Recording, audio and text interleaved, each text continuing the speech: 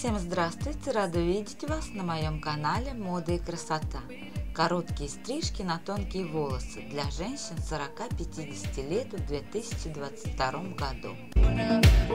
Визуально увеличить объем тонких волос поможет правильно подобранная стрижка в исполнении хорошего мастера – Таким мастером является Наталья Куликова из Перми.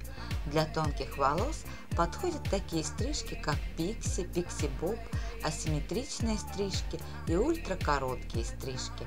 Смотрите модную подборку коротких стрижек от Натальи Куликовой.